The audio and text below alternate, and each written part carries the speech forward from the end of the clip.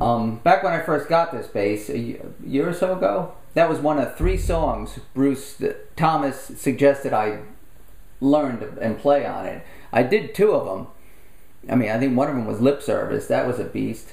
And uh, I forget what the other one was. And then I listened to this, and I was like, oh, geez, no, I'll take a pass on that one. But I kept it on my list and kind of would, would, go back to it and chip away a, a little bit. But um, it's he never plays the same thing twice, and it, it was uh, probably harder than Pump It Up to figure out. So many little variations. I'll try and play through a little bit of it, but um, I really don't think I'm going to get that far. See what happens.